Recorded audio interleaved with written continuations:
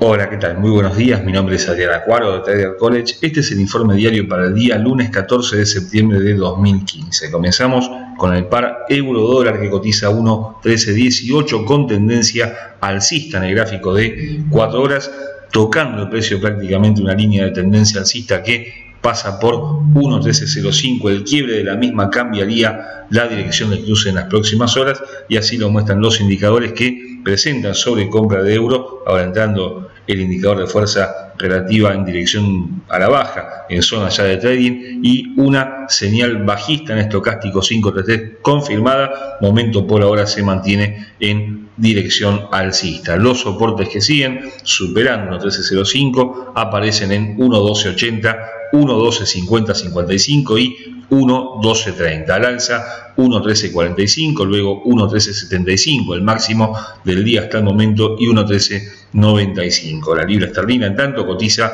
a 1.5416 ante el dólar, una tendencia que lentamente se va tornando bajista en el gráfico de 4 horas con un primer soporte en los mínimos del día viernes en 1.5395, le sigue 1.5375 y 1.5335 al alza, 1.5445, 1.5480 y 1.5510 con una probable figura de cambio de tendencia, un doble techo que tiene su neckline justamente en 1.5395. El quiebre de una línea de tendencia alcista de corto plazo está configurando justamente una probable baja de la moneda británica en las próximas horas. Así también lo muestran los indicadores que se presentan en todos los casos con señales bajistas. El dólar yen, por su parte, cotiza 120 a 23 con una tendencia ligeramente bajista del gráfico de 4 horas con soportes en 120, 119.65 y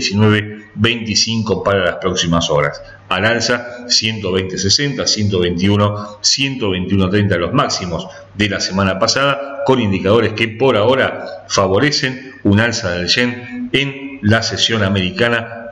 Hay una corta línea de tendencia alcista que une los últimos mínimos ascendentes y que pasa justamente en su punto de apoyo, punto de confirmación, por la zona de 120 yens por dólar.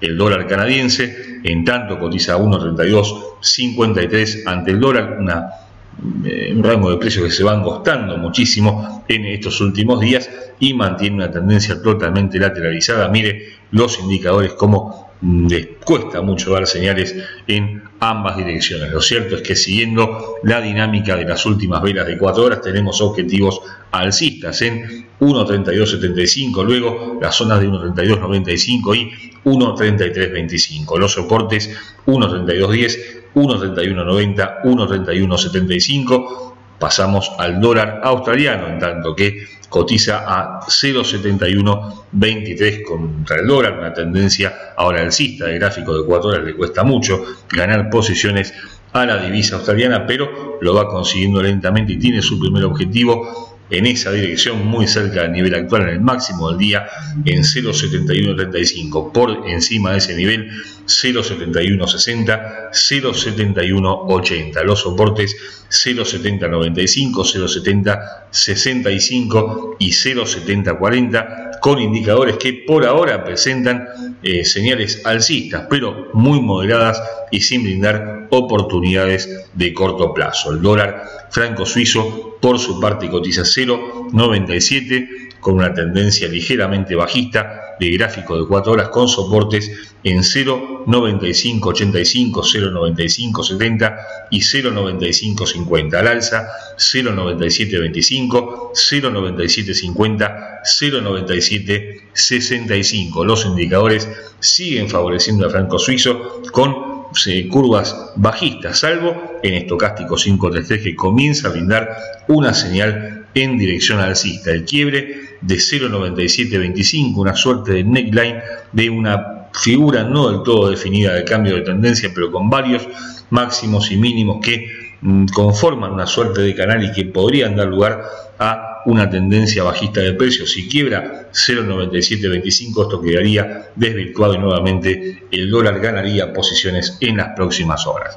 El dólar peso mexicano, en tanto, cotiza 16.7767 con una tendencia lateral de gráfico de 4 horas con soportes en las zonas de 16, 71, 70 y 16, 65, 60. Al alza 16, 85, 40, 16, 93, 50 y los máximos de la semana pasada en 17, 01, 80. Los indicadores con señales bajistas en todos los casos que nuevamente favorecen al peso de cara a la sesión americana. Los pares cruzados, el euro yen 136.13 en estos momentos con una tendencia que lentamente se torna bajista. En el gráfico de 4 horas el quiebre de una corta línea de tendencia alcista está configurando una tendencia en dirección contraria y los indicadores acompañan esa nueva tendencia bajista que tiene soportes en 135.55 y 135.30 para las próximas horas. Al alza 136.40, 136.65 y los máximos del día hasta el momento en 137 yens por euro.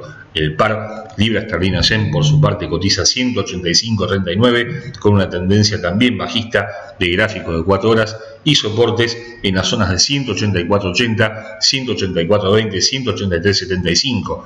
Al alza 185.95, 186.40 y los máximos de la semana pasada en 187.25. Los indicadores, sin embargo, presentan fuertes divergencias entre la curva de precios y los indicadores que justamente están eh, comenzando a cumplir con dichas divergencias con movimientos fuertes en dirección bajista que pueden continuar en la sesión americana. El petróleo, los futuros del WTI 45, perdón, 44.59 con una tendencia lateralizada de gráfico de 4 horas. Mire qué parecidos son los gráficos del petróleo con los del dólar canadiense y el peso mexicano. Los soportes que siguen 44.20, 43.40, 42.70 al alza, 45.10, 45.95 y 46.60.